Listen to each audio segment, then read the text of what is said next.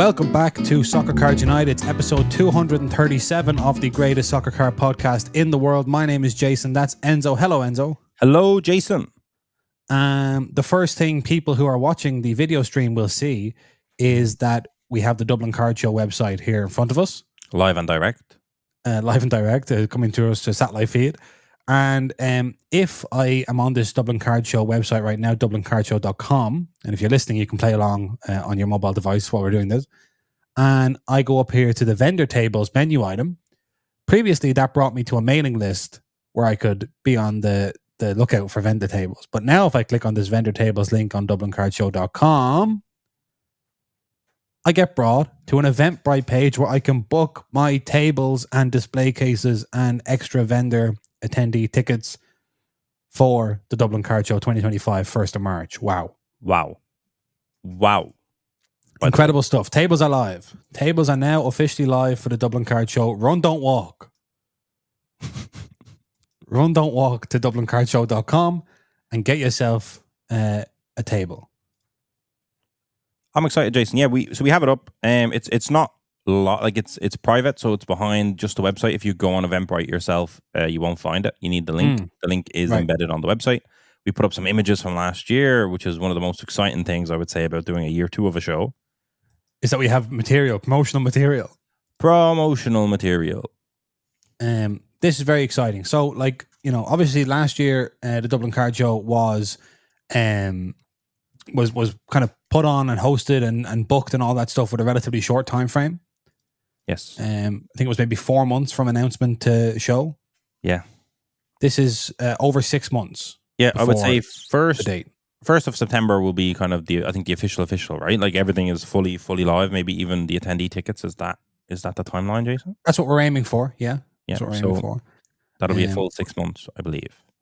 Right. So, um, but if you want tables um, to come to Dublin, or if you're already in Dublin, um, you want tables, you go to dublincardshow.com. And at the moment, you click vendor tables.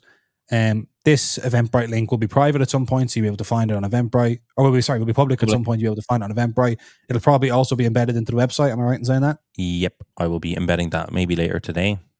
So, um, probably by the time you're hearing this, if you go to dublincardshow.com and just click vendor tables without even having to leave the website, you'll be able to book your vendor tables. I'm super excited. I'm excited. I, I we obviously wanted to give podcast listeners that little edge. You know, if you're listening to the podcast and you actually you're you wanting to get a table, you're wanting to come to the show, you use will be getting the kind of early early access.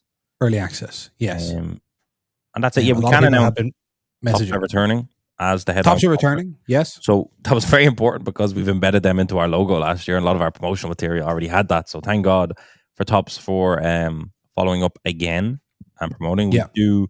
I know we have a lot of corporates, Jason, that listen to the podcast as well. You know, when they're on the way to work, they're trying to keep a finger on the pulse in the hobby. So I do want to say to them, sponsorship packages will be going out soon, early September. Uh, so Yeah. do not worry. We just have to lock in the headline.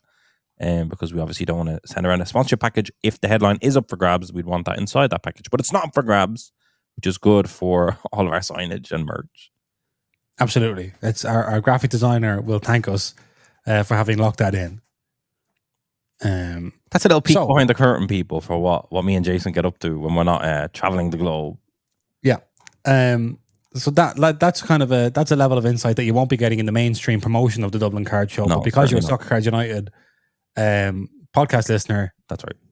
you get it. Um, one thing that just just to say, one thing that does happen sometimes is we've been telling people, you know, on our travels, there's a card show in Dublin, and they go, "Oh, brilliant! Yeah, do you go to that?" And we go, "No, no, it's it, we're doing it. We're the ones that do it." And they're like, "Oh, I didn't know you did that." It's like, what? How could you not know we do that? It's a Yeah. Dublin Card Show hosted by, but because we don't put Soccer Cards United anywhere on It's it. um we and there's you know there's a variety of things coming up this year, Jason, that's going to make that even more com- complicated. And I can't. That's a I little know. Easter egg, but people can't know about it. But and like we actually already had that trouble in New York City when we were talking about it to a few people, where they were saying, Yes, and who who's doing that? And it's like it's us.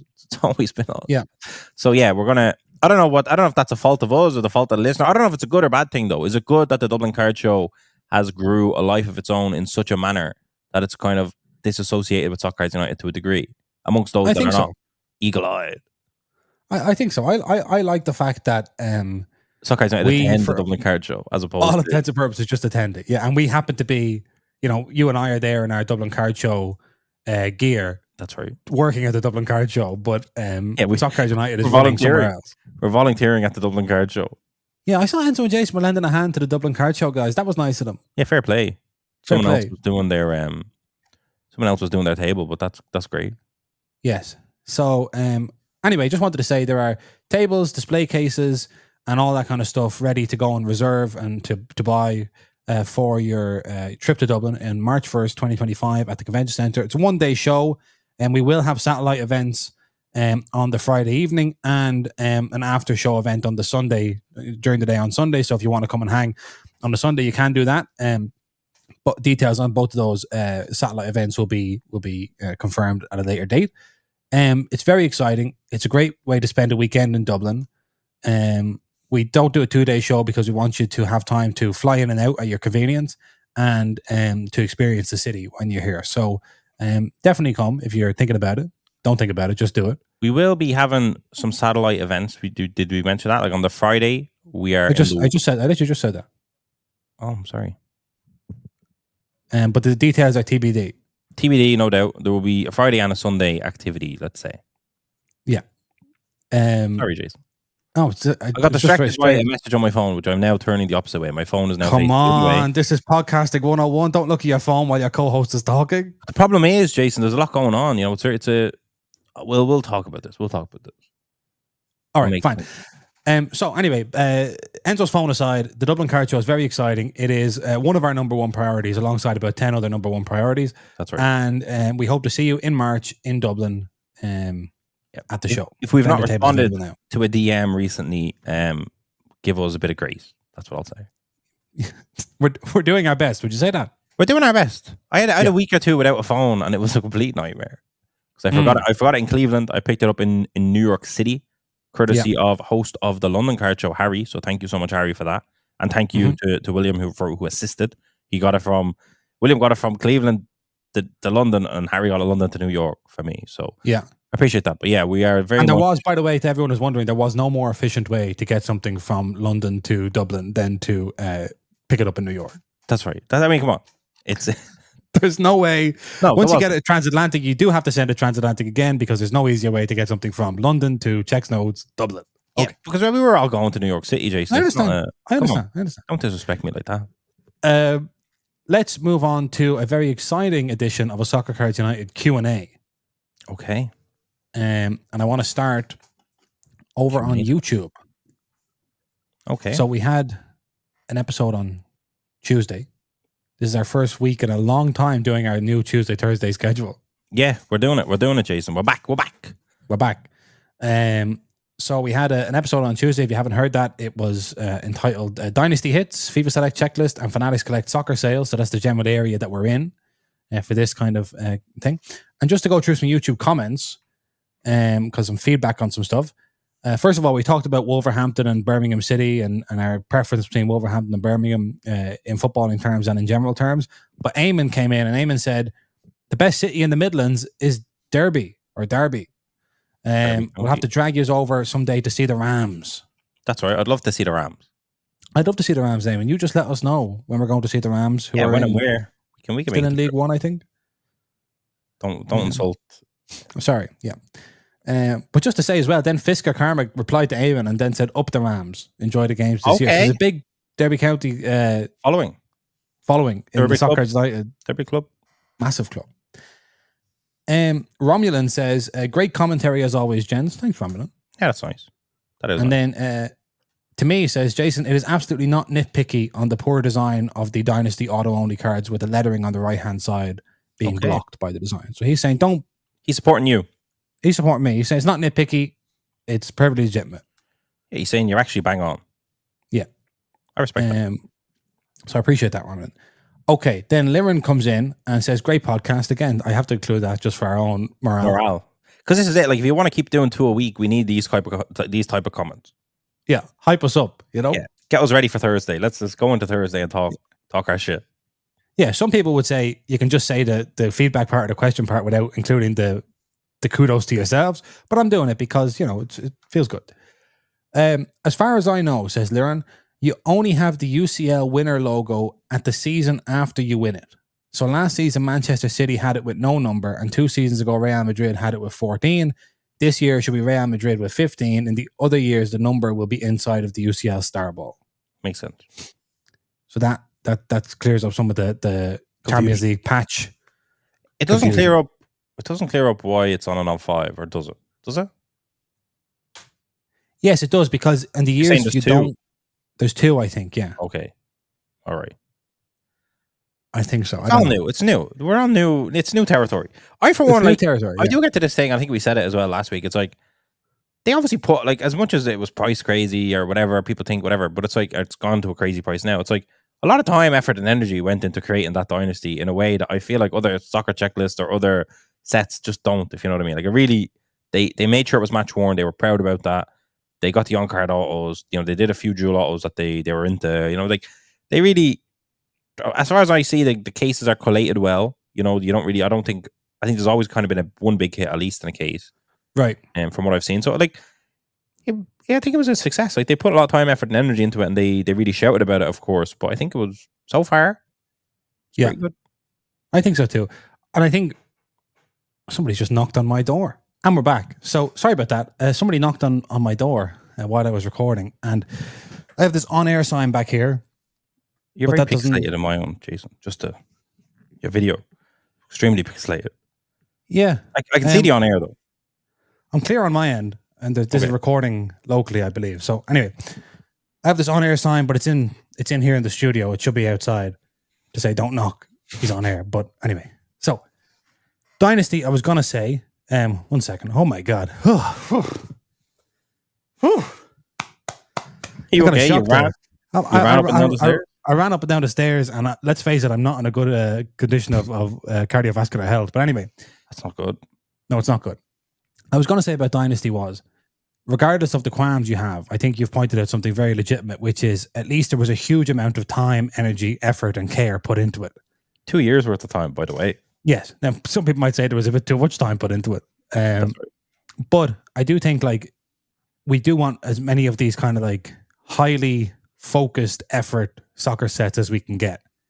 Definitely. Deliberate, and we can argue over whether or not the results are good, but there are too many soccer sets I think that have come out in the past, you know, kind of say 10 years that are kind of like you can't even really argue about them because um they haven't really been thrown together with enough intentionality to argue about. Saying, you're saying Wayne Bridge popped up in one too many checklists. Yeah, it's just kind of like every time Wayne Bridge is there, it's like I don't, I don't think that I can legitimately criticize you putting Wayne Bridge in there as a choice. I think it's just like as a mistake, as a kind of carelessness, as opposed to like I really think Wayne Bridge should be in here. I think it's just like I have Wayne Bridge autographs, I'm gonna put them in. Yeah. Um. So this is good to see, even if I do disagree on the autograph only lettering Design. Thing. Okay. Yeah. design. Okay. Uh, High Fades says on the last episode, uh, great episode. Ooh. Uh, I think the only way that PSA Oh, or that Fanatics could disrupt PSA is to purchase not CGC, not CSG, but BGS. Oh, what a move that would be, by the way. Heritage, buying heritage in the door. Yes, I believe we've we've talked about this. I think we've um, said that before ourselves. on a previous episode. Yeah, but that is something that you could you could do because you ha- already have all sorts of amazing soccer cards and all sorts of amazing cards in general in BGS slabs. Yeah, you'd also have kind of a small collation of hardcore people that have their stuff in their BGS labs that want BGS to have a resurgence and relevance. So you immediately have support as well. Yeah, You'd be like, get that right, this is class. Like us with our Pele Jason. I'd be saying BGS 9.5s are the premium. absolutely. They are the standard as far as I'm concerned. because like you know we were talking on the the last show about how CSG we remember them starting grading sports cards on the show. So it's like if if you've started your grading company or you've started grading sports cards during the run of Soccer Cards United, you're probably not the heritage brand No, that Fanatics needs to kill PSA. Although as time goes on, you would be legacy. Do you know what I mean? It's been it's been a few years. True, Jason. but you have to. It would have you're to not, be. A- you're not Beckett. You're not not Beckett. Beckett. You're not Dr. James not. Beckett. Certainly not. Certainly not. Um, and then uh, Sighted Rain doesn't have a question or a feedback, but just says, "Great shows, fellas. Great show, fellas. Keep them coming. That's kind of feedback. That's keep them coming. He said That's just feedback. feedback. Yeah. I had a, I don't know if that's the last, is that the last of the feedback? That's from the last one on YouTube. Yeah. I was just I- about to say on Spotify, Soccer Oh, yeah. podcast has 131 ratings, and we Hmm. are still repping a five star rating as a podcast. So thank you to all 131 people that have done that. If you haven't done that and you are listening on, on Spotify, open that stuff up, hit the star, give it a five. We Yeah. appreciate that's a number we we love to see. And if you're on Apple Podcasts, which I know a, a, lot of people are as well, um, leave us a rating because it's been a long time since we got a review. A Yeah, we haven't got to do a review on the show. It's not that we gave up on the segment; we stopped getting review. we stopped getting reviews. Yeah, yeah. Um. Anyway, we'll move on to more traditional Q and A now. Okay. Um, we're starting with an uh, question from our friend Faye. Okay. Uh, with soccer now having dynasty, what is your top pick for a product crossing over to a different sport, like a Topps Allen and Ginter for the Champions League, or you know, driver curated sets for F one? So, what set would you like to see apply to which sport? A driver created set in F1 would be fun because I'd like to think they could use a lot, a lot of different cool imagery because they'd have to Mm. really think more, I suppose, than they do with like just F1 Chrome. Yeah. Um, otherwise, every card in the set would look the same. So they'd have to be pulling various images. They probably have a little bit more freedom on it, but I don't know. Um, I don't know. Top of my head, I don't have one beyond that, I- Jason. What I think that fern- just in terms of driver curated sets, someone like Fernando Alonso could do an excellent driver curated set because he's so old. That's right. So like he, would- he like Fernando Alonso's career like would have, you know, would be incredible. I would agree. I would Um, say an Inception maybe for for F one. Now, now I'm in like F1 head. Faye has forced me into into F1. I'm not thinking soccer. Yeah. What have they done elsewhere that I'd love to see in soccer? I don't know. I don't know either. Um, because we've seen like now that we have Dynasty, we've seen these, and we know we're getting uh Topps bold. Um, so the high end thing, you know, I think we've seen most of the high end stuff uh, in soccer. Maybe a transcendent Champions League because the transcendent sets have come to soccer, but they've been club exclusive. So like Bayern, Mm. Salzburg, transcendent, which I think is just not for me. A Yeah. transcendent Champions League, I think, would be crazy. That's right. That's what I'll say. Crazy. Oh wow, That big fancy box. Yeah, yeah, yeah. Or for Panini to bring back flawless. Give us flawless. another another flawless. That's right. Um, I'm just looking. Do you know what I'm looking at here? I'm looking at uh, Topps Big League Baseball, um, and I not necessarily want Big League Baseball and soccer, but I do think there's a few things Topps do. I was kind of thinking of the Allen Ginter line. Yeah. Topps been making baseball cards for so long, and they make so many different sets, and some of them are kind of just like a bit of silliness, a bit of like, you know, a bit of fun, a bit of just kind of novelty, cheap kind of stuff.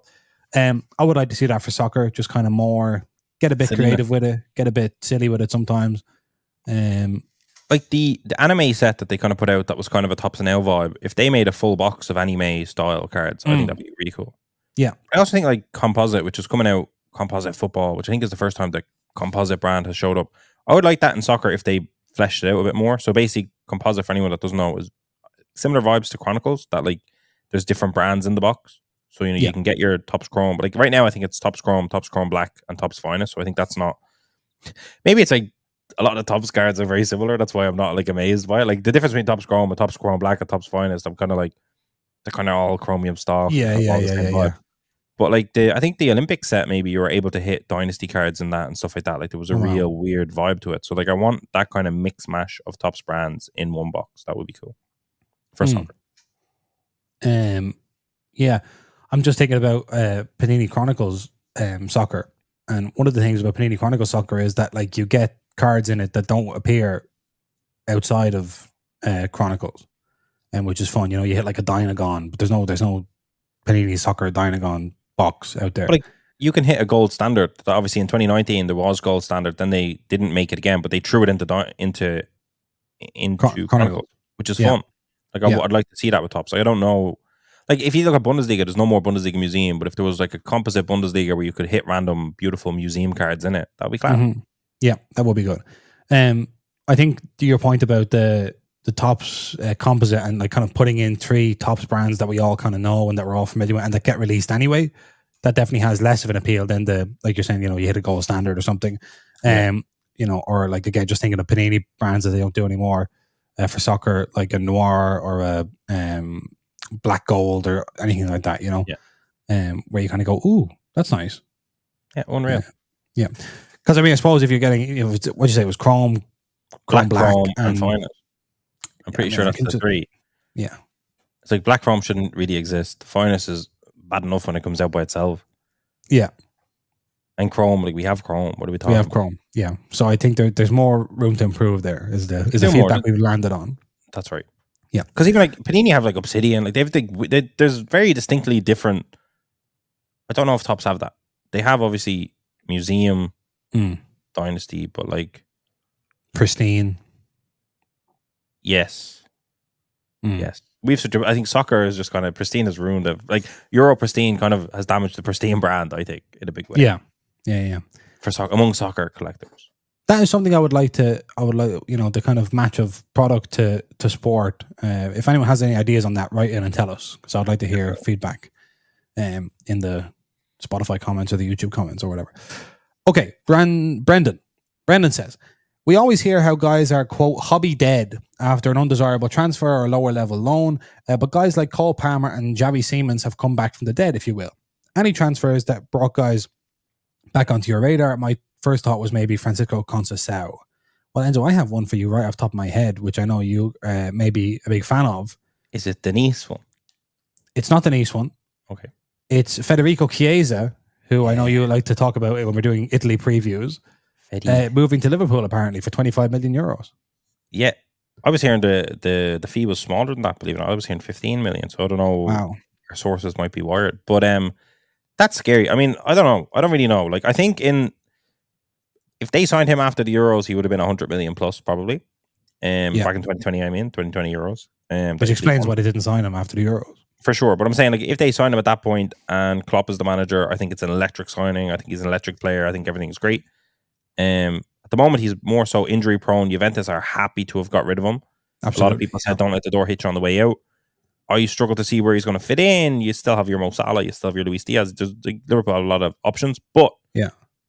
It's definitely a low risk financial signing. Yeah. It's definitely a good squad player for the cups and stuff like that, and he has obviously that potential of reigniting kind of where he left off back in the day. So it's a signing as an Italian. I'm excited for him. As someone that doesn't love Liverpool, I'm not like ecstatic that he's going to be in a Liverpool kit. Same way I'm not ecstatic that Calafiori is in an Arsenal kit. But I do like seeing Italians in the Premier League, even though historically they haven't quite been able to adapt to it.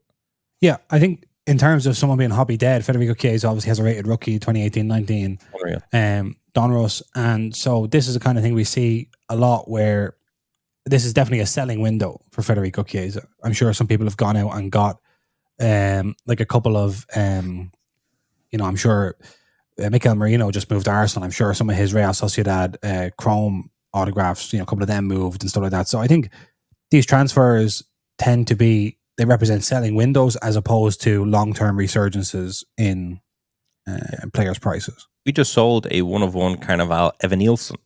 Yes. I believe he's just moved to the Premier League. to Bournemouth. Yeah, that's right. So someone was making a play there and bought that, which I was very happy with. Yeah. Um. Obviously, you were talking about Nice there. Uh, Youssoufa Moukoko just moved to Nice, um, and he's been around for a long time, uh, kind of languishing at Dortmund. Yeah, four years. Um, and then again, you you, you kind of wonder what you know what would he do at Nice to to move the prices. We don't know, but he, the important thing is that he plays, I suppose. Yeah, I think he's young enough that it's all about game time. Um, Yeah. fascinating, but like, it's weird because normally Dortmund is where you get that. If you know what I mean, like that's like, Yeah, was he too young when he first broke out at Dortmund? Had to actually wait and whatever. Like, was he being managed well at Dortmund? Who knows? We know the only thing we know about him is that underage German uh, national team football. He's a bit of a whiz. So can he do it in the French league? Probably can. We're gonna have to wait and see. Yeah. Um, I was just kind of thinking of other examples, like of you know, kind of like if this person had had a rookie card, and then like you know, the the big example I thought of was Harry Kane. And Harry Kane, of course, famously came through at Tottenham, didn't get any game time, and then had to go out on loan to three or four different clubs: Norwich, Leicester, uh, MK Dons at one point, maybe. I'm not sure. I think so. Yeah. Um, so went and played in the lower leagues. If uh, you know, say in Topps Chrome had been Topps Chrome Premier League had been back then, um, in 2009, maybe 2010, 2011. Um, and Harry Kane had they snuck him in as a rookie card because there's a striker coming in uh, from uh, from Spurs, and then he had a rookie card, and then he gone out on loan. His cards would have just been put away; they would have been worth essentially nothing. And then when I can't remember who it was that got uh, 2013. I injured. think. Yeah, I don't know. oh, it's uh, Was it the Spanish fella? yeah, yeah, um, Soldado. Yes. Roberto Soldado got injured and Harry Kane had to come on, and that was the that was the end of that. That was Harry Kane just played then for Spurs for the rest of the time until he moved to Bayern Munich. So I think like traditionally we always talked about in football like that strikers hitting their peak between the ages of kind of 27 and 31 32 that was kind of five years um this kind of youth obsession in soccer is relatively new True. um and no one would be expecting under you know 20 years ago no one would be expecting Youssoufa Moukoko to be any good until he had kind of 10 years playing under his belt Definitely. So that's um something to think about Yeah, as we say, like it's football is non-linear. It can Yeah. be a positive thing. Like it can be a positive thing not to peak early. You know, you look Yeah. at maybe Mi- Michael Owen peaked early. I would say Rashford peaked early. I think he's kind of on a decline now as well. Mhm. Yeah. So I think you see a lot of that. So football is interesting in that way, and I'm excited to see the first person who has a one of one rookie card that has kind of a, a few years in the wilderness and then explodes. That will be Bam. fascinating. appears out of nowhere yeah It'll be fascinating to see that. We do have. I I don't want to spend much time on it, but Mason Greenwood is obviously also in the French league. Scored a few Marseille, yeah. goals. You know, obviously super controversial. So totally, there he's in the wilderness for different reasons. yeah You wouldn't necessarily invest in buying, but you could use that as an example of a rated rookie that exists, does the move and actually playing and trying to move past the the mess. Does that help his cards? Whatever. Like, is are we going to see a market change there? We probably will. Mhm. Um, would we recommend it? Would we go near it ourselves? Obviously not. But it's just another example of players that could literally disappear for two or three years, make a transfer, and then suddenly kind of be hitting headlines and and people talking about. It. Obviously, different scenario with him, but um, Yeah, I mean, I mentioned on Tuesday Antonio Nusa, who was playing uh, Norwegian kid, very highly rated, playing at Bruges. Then he's gone to RB Leipzig. Um, if he was to do well in the Bundesliga, and then maybe you know, say someone like Bayern Munich goes, all right, Harry has two or three years left in him. Let's sign Antonio Nusa because Leipzig finished second this year, whatever. Um, and he has, but it's all just about time. It's all just about the time. I do think as well. Like I would rather have a thing in soccer where like players come out, their rookie cards are expensive, then they go into the wilderness, and then some of them then reappear later on as opposed to that Michael Owen thing of, you know, if Michael Owen came on the scene, everyone spends incredible amounts of money on, I suppose Ansu Fati is a much lower grade example. Um, and then he just, you know, dies off completely. That's like, that's, That's a right. no-win scenario for anyone.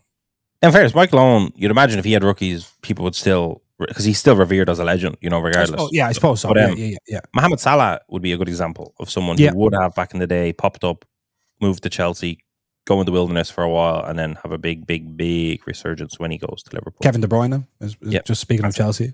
Come on. Um, so this stuff does happen. Um, Lukaku used to be in that same tier, but for whatever reason, he he's become a meme. Like he's an all-time Yeah. scorer at various clubs and national day, but he's a meme. So unfortunately, he's off to Napoli with Scott McTominay. really, Yes. does that mean So- Osimhen's out the door? Uh, Osimhen looks like he's going to Saudi Arabia. Yeah. Saudi. Yeah, because nobody will pay him the salary that he requires. Um, And- so and Nap- he- Napoli will sell. Is that the idea? Napoli will sell. Yeah, yeah, yeah, yeah, yeah. Um, because I think Luke- with, with huh? Lukaku, Osimhen front two would be, you know, give give us a little four four two vibe with, with Kvara on the wing. It would be very old school very dangerous. It would have been, but uh, Osimhen and his agent, I think, got a little bit uh, a little bit big for the boots That's right. and um, didn't want to take a hit on salary to move up, and kept saying, "I'm not going to Saudi. I'm not going to Saudi," and then eventually realized that's the only people who were going to pay him the money, and so went to Saudi. okay, damn. So, uh, I mean, he hasn't gone yet, but it, it's looking like he's going. So, Okay, okay. We'll keep an eye on that. I suppose Chelsea have too many players to buy him. They can't. Uh, yeah, well, they're looking at Ivan Toney. which, in fairness, for 50 million. So, right. and then, uh, yeah. Anyway, we can talk about Chelsea related transfers all day because there's so many of them. Right. Let's get on to more questions. Um, Soccer Cards HQ has a question for us. Um, if you could only buy cards from one set for the rest of time, what set would it be? What is your Desert Island set? So when he says set here, if we say Topps Chrome, does that mean every year we can buy Topps Chrome, or is he saying a specific year, specific set? I'm going to interpret it as a specific brand perpetually. Okay. you can always buy the new release of it. Because Topps Chrome was where my mind went to first as well. Because I suppose if you were, you know, if you could only collect Topps Chrome UCC every year, You're all right. You're all right. Yeah. Yeah, that's where I was thinking that. Like, if it was specific set, I'd probably say 2014 Prism World Cup because I feel like Mm. anytime something pops up, you'll have a bit of fun. You'll have a you'll have a good time. But if it's one brand, I mean, it's hard to look past Topps Chrome, UCC. You know, Yeah. Stadium Club. You could say that. You could say Merlin. You know, you can have a bit of fun with those. But it does feel like ultimately, maybe Sapphire. There you go, Champions League UCC Champions Sapphire. League, Yeah. That's me. Um, let me think. You're going Champions League. I'll tell you I'm what I'll go. I'll go just man. based on what, what something you said. World Cup Prism. Okay, Panini but you can't buy that every year. I can buy it every four years, and in the meantime, I can spend the four years collecting the set. That's right. That, that that's strong. That's a strong answer, I think. Yeah, Um, I'll give you that. yeah. So Sa- Sapphire UCC for you, and Panini Prism World Cup for me. For me, Euro pristine all day. It's got to be. It's got to be It's Euro gotta be. pristine. the only answer. Um. So there we go. Yeah, I suppose because there are people who only collect one set. Yeah, and they're smarter than us. I mean, They're smarter than us. Yeah, we're running around trying to grab, catch them all. Okay. we're the wrong we're the wrong uh, category here. Yeah. Uh, maybe people at home are like, catch them all. What's that? I don't know what that is. Mad City Collector asks this. Um, uh, Mad City Collector, by the way, a, a- a set collector of some note and a, a focused collector who we could all learn a lesson from. That's right. People are spending a lot of money on Lamine Yamal cards. Do you see anything different in him than any other, uh, any of the other hot prospects that we've seen in the last five years? What is your favorite rookie card of his, given that he is given that he's in so many products? What are the odds of him winning the Ballon d'Or in the next ten years? What odds do you give him? So let's look. Let's let's break that up. Um, do you see anything different in Lam- Lamine Yamal that you haven't seen in other prospects over the last five years? Yes. Tell us what that is. I just when I'm watching him play, I feel like he has a lot more composure than most players. Always has the like it's his his goals don't impress me that much. His assists do. That's what I was. Okay. Yeah. So, um, compared to someone like uh, Jamal Musiala or uh, Yeah. uh, someone I like feel that, like- not. I feel like Yamal at full pace or when he's running up the right hand, it feels like it's everything's a bit slower. Mhm. Yeah. He looks up, he's able to actually look around and he makes the right pass. So in that case, I will give him that. I know you're saying Yamal Bellingham's been great, but there's something when I do watch him, it is a bit different. At least it Yeah. was in the Euros. Yeah. Um, that's fine. Uh, what do we see? I mean, I think like obviously a lot of this is predicated on the fact that Spain won the Euros, Mhm. um, and he played really well in that tournament. Um, I think like the if we're talking about a young player like that, the obvious comparison probably is Mbappe. Um, you know, winning a major tournament with your country very very young, um, being a kind of superstar at a top club, um, and like Mbappe will probably go the first, you know, few years of his career without uh, winning the Champions League. Um, but I do, I do think as well, it's just a, a more focused soccer market. I think, I think market conditions have a lot to do with Lamine Yamal more than the player himself. Um, he's obviously brilliant. Like I um, don't know who they were playing the other night, but I watched him, and he's really good. Um, but then Dani Olmo came on, and Dani Olmo was really good. You know, like that. It was not. It wasn't like you know. It wasn't that kind of thing of like there's It wasn't and Yamal. There was shoulder. everybody else. Yeah. Um. I have a question for you, Jason. Hmm. If Leo Messi burst onto the scene this day and age, when he Yeah. did, he had Ronaldinho on the team. He was kind of had a bit part to play at the very start, but he looked fairly electric. Yeah. If he had rookie cards that were going for forty k, what would what would you be feeling? What would you be thinking at that time? Obviously, it's hard to. Yeah. Would you be kind of going relax, lads? Do you know what I mean? Like I feel like that that would be a lot of the market sentiment would have been. He's all. He's all need to relax. Yeah, I mean, like, you know, you don't know really, do you? Like, because in in saying that, I think, I think the conditions at Barcelona when Leo Messi came through were very different. Like, they, they were kind of a situation where that Barcelona are in now, which is like the team is kind of in a transitionary period. We don't really know. Um, this kid's good, but is he going to have the team around him and all this stuff? Then Pep Guardiola comes in, and it's like, okay, now we're kind of putting the pieces together. Busquets gets called up. You know, that's one thing I was thinking about. This obviously made me think about Messi. This question, and just like the fact that Messi happened to play with a series of incredible teams and incredible teammates. Um, and if you want to look at how sensitive Messi was to the team around him, look at his record with Argentina pre 2022 World Cup or pre 2021 Copa America, whatever it is. Um, and it's it seems like is Lamine Yamal ever going to have the players around him that Messi had? That that seems unlikely. Yeah. Um, and you think of how much of Messi's prices are built on his relationships with other great players in those teams. Um, you know, is Iniesta, is Jordi Alba responsible for zero point five percent of of Messi's prices? I think so. You know, um, And he does too, bringing him to the Miami. And obviously Messi does too. Yeah, exactly. So you know, in, in this, me and Leo are completely, uh, Aligned. completely aligned. Yeah, uh, this The, um, many other things. Your favorite Yamal card, Jason, of his rookies? I don't know if I have one. I don't know if I have one either. Um, I suppose. Kabooms are pretty good, but like uh, I wouldn't have that as my favorite. If the Yeah. gold Kaboom was really gold, I'd had feel different. I think maybe, and I know we we've talked about the national debut thing, but I think his Euro, his actual proper Euro cards, So Euro Chrome when it comes out Euro Chrome, Spain, Super Superfractor. will be quite That- the card. Yeah, I think that's quite the card. I think that's the that's the card. Fair. I think that's fair. I'd, I'd agree with that, especially if like the image is going to be him in the 19 jersey, etc., etc. Yeah. That'd be unbelievable. Yeah. Um, and then what odds do we give him to win the Ballon d'Or in the next ten years? decent odds. De- uh, decent odds. We don't know. It's an open field from now on. Yeah, it's going to be very different. No one's going to know. It's different. Yeah. Um, it's a new whole new world. That's right. Okay. Uh, Rob has a question for us. Are you of the opinion that cards other than short print, super short print, numbered, and autos will be worth next to nothing, and that we are in a junk wax era for quote unquote normal cards? Does that basically mean base cards and base inserts that are not SP, essentially? Base cards, base inserts, refractors, um, Yeah. Unnumbered, unnumbered, not short print stuff. I mean, you know. probably. I don't think that stuff's meant to have value. I think that's basically where we've kind of fallen. Yeah. It'll have transactable value between kids and you know people that kind of do dollar boxes and stuff like that. Set But like, collectors and things. Yeah. yeah, set collectors for sure. But it's like it's not. I suppose the idea is they're not meant to be worth. You're not No, meant to grade think- a base card and make money, really, as an investment. No. I, I mean, obviously, like people, you know, I was going to say that while we had that kind of stuff was worth money in soccer, other sports with much bigger print ones didn't. But I'm, I'm thinking now of like, you know, people grading base uh, Luca Yeah, yeah, yeah, rookies in basketball and stuff. So I guess people, and I know like Wemby had a lot of base cards graded this year and stuff. So, True. I mean, a PSA 10 of the right player will be worth a bit of something, but like it's oh, not. yeah, yeah, yeah. It's kind of like the sticker vibe, where it's like, yeah, the 10 will be worth more than the base, but it's still not that. There's Yeah. a roof on where it can go. Yeah. I think that's that's the new age.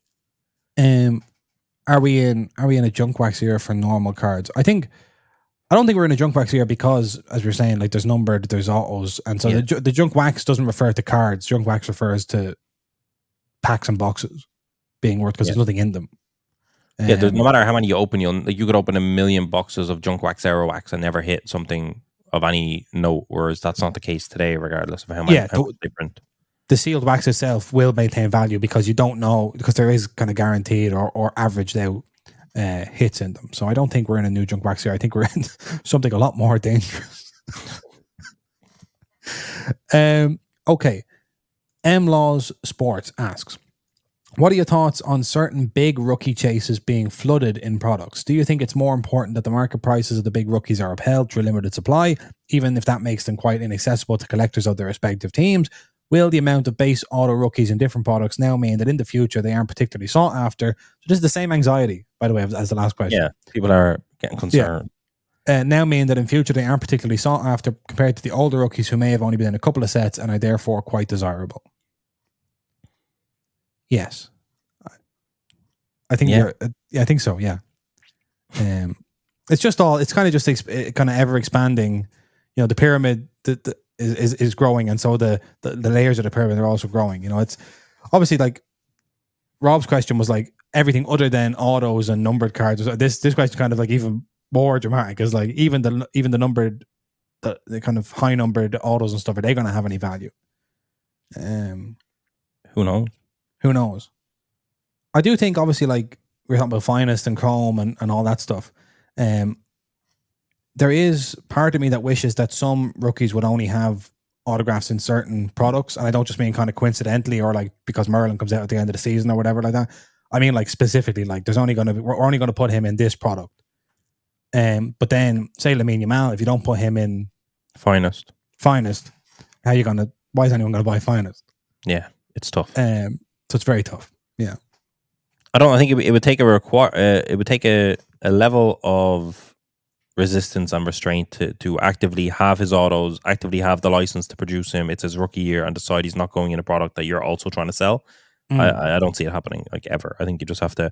But it's, it's kind of where you like collect what you like. Do you like the look of finest? No, don't. Then neglect it. Don't don't get involved with those Yeah. cards. You know, like collect what you want. I because like everything feels dramatic in an echo chamber. Like I feel in 2020 and 2021, we felt like there was like Jude had more rookies than any player ever in the history Yes. of ever for soccer. But nowadays, if you want to find like an off 25 Jude rookie autograph, they're just not they're not plentiful. You know, Mhm. it's it's hard. So this is the time you can make Yamal rookies. Panini and Topps are doing it with variety of licenses, including the Euro license, FIFA license, all that, La Liga, Yep. Champions League. But in five years' time, a Yamal rookie can't be made, and what's been made this year is what exists. And obviously, the question is: Is there going to be so much that there's just piles of it? But I, I don't imagine there is. Like, I suppose the the hope is the demand goes up high enough that a lot of the low hanging fruit gets taken off the board, and it just becomes harder to attain. Yeah, I mean, I think you've you've hit there, which is we we often have these um supply side concerns. Are they making too much? Are they? And the thing we we don't see is because we see the supply growing. That's you know that that's kind of publishable. Uh, we don't see the demand growing. In, you know, like it's not like every, every hundred new collectors come in, have a press conference, and say we weren't in the hobby six months ago, and now we are. So we're not really seeing, but we we know kind of just anecdotally, we know implicitly, we can see from different things that the market is growing. And one of the reasons why, if if only the people who were worried about Jude rookie numbers were still here, then the Jude rookie numbers would be a problem. But in the meantime, loads of other people have come in and wanted Jude rookie and can't have it because they weren't here the first time. That's right. So you know, in in those five years, presumably will keep growing the market. That's the hope. That's what I suppose. That's what the manufacturers are hoping. Yeah, that's the great hope. Yeah. Whether or not it happens, we will wait and we will see. Mm. But I, Mm. I see a lot of good signs for Chase, and I'll say that. So do I. Yes, certainly. We wouldn't still be sitting here twice a week sometimes. Certainly, yeah, sometimes. Sometimes. um, unless we unless we we thought this was, you know, going like that. That's right. Okay. Um. Right. I'm gonna. We have one more rookie related question. I'm gonna get into that just because I want to kind of close that chapter. Why do rookie cards of players drop so much in their sophomore, very very Americanized, in their second uh, year uh, for our uh, global listeners? Uh, why do RC cards of players in sophomore year drop so much in value? Alejandro Garnacho, etc. I suppose there's less attention. There's less hobby attention on them for being a rookie chase, and if they're not subsequently performing out on the field, Yeah. they're what. Whereas it's the demand. You know, the demand has There's new rookies. Because if you look at Jude, like his maybe his sophomore year was probably not that great, but now he's in demand and stuff like that. So it's kind of, I suppose, when you're in the echo chamber of a rookie season, there is a lot of hobby talk, and that's because a lot of people have wax, a lot of people have hits that they've just hit from breaks and whatever, and want to hype up a player. Yep. And there's more attention on everything that player does anytime they play a game, and then the following year, people are looking at and paying more and more and more attention to the rookies in that chase class. That if the previous year's rookie isn't doing a madness, it's a lot less attention on it, I would imagine. Yeah, and and and also, rightly, the standards for being impressed become higher the more you play. hmm Um, There's more- there's very, more you data. know, yeah, If Yamal Yeah. plays for a full year now and doesn't do anything, it's not because it's his sophomore year. It's because we've just seen him do nothing for 30 games. Yeah, and and we've seen we've also seen like stuff that's impressive when you're a rookie. We look at it and go, oh my god, imagine that he's just this is his first game and he's going, you know, okay, you've done that. Now what have you done for me lately? Kind of thing. Um, which is which I suppose is why there's like a rookie of the year and a player of the year, two separate awards in a lot of leagues, and because the rookie wouldn't be able to win player of the year because it's only impressive because he's a rookie. That's right. No, make Um, yeah. So I also think that does link into, if I can try and remember, the hobby, the hobby dead players. Um, we often see that starting in their in their sophomore year, to use the use the term, and uh, and then they have to kind of com- they have to then perform over a consistent basis for us to pay attention anymore. Yeah. Uh, so there is a a a link there between the the questions. Okay. Um, our Eamon is back in on a different platform, okay. and he wants to know: Are you guys going to start breaking? Who knows? Who knows? Who knows? Who knows? We get that question. Yeah. We'll say this: we get that question a lot. We get it. We get it a lot. We have, I would say, we have 99.9% of the infrastructure to do it. Yes. Um, I would say start breaking. We've broke before. I'll say that much. People that really know know two two case Mm. breaks have been done over the course of the Soccer United uh, history by ourselves for Formula One Chrome and EPL Select uh, Garnacho rookie year. Um, are we going to start it on a regular and consistent basis and do some madness in this Soccer United studio?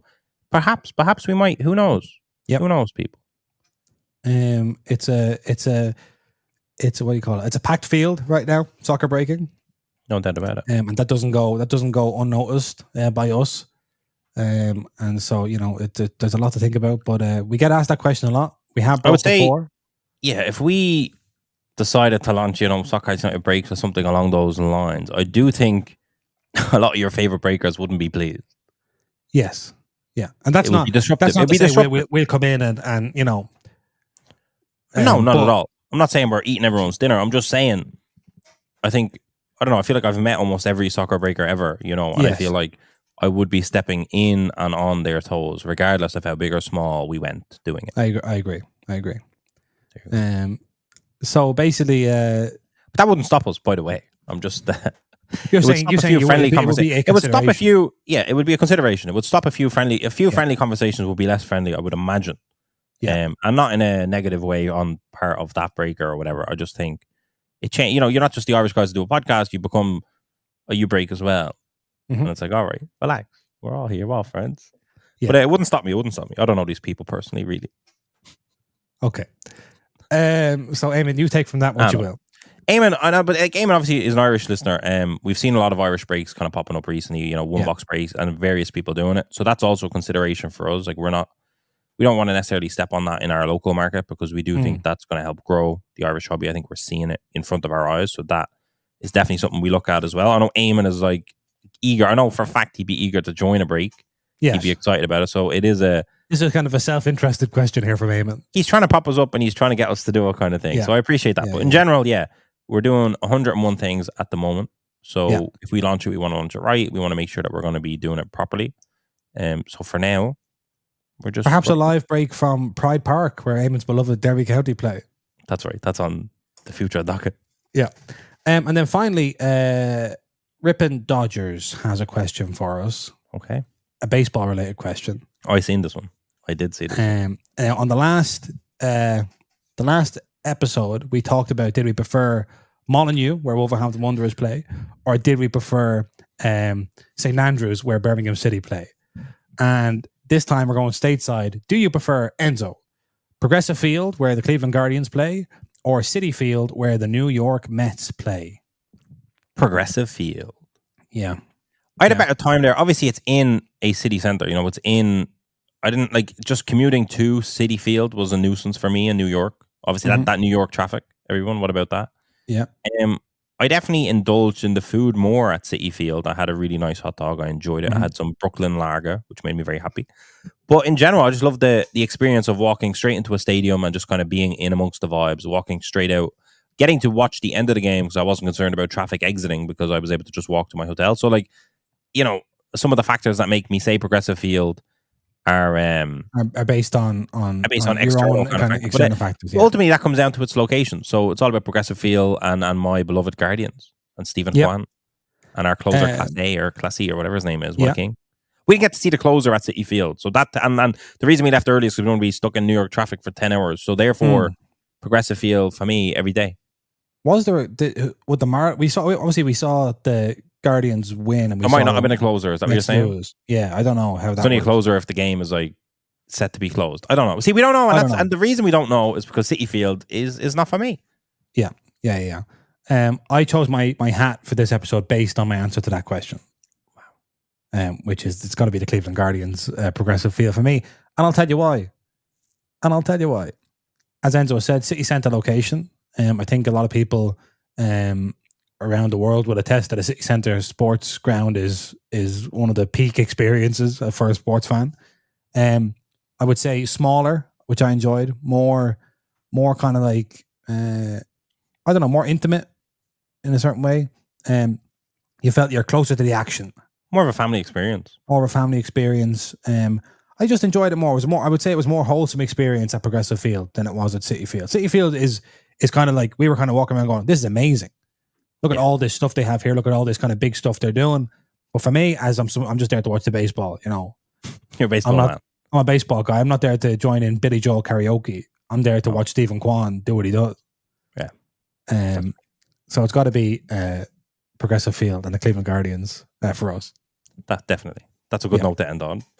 Okay. Um, so we're back on Tuesday with another episode of Soccer Cards United, and we're going to build up a head of steam, I believe, in the next few months on the podcast. That's right. If you want that Dublin Card Show vendor table, hit it, hit it, hit it on the website dublincardshow.com. Yep. Uh, attendee tickets will be live soon enough. Um, and other than that, go Guardians. That's right.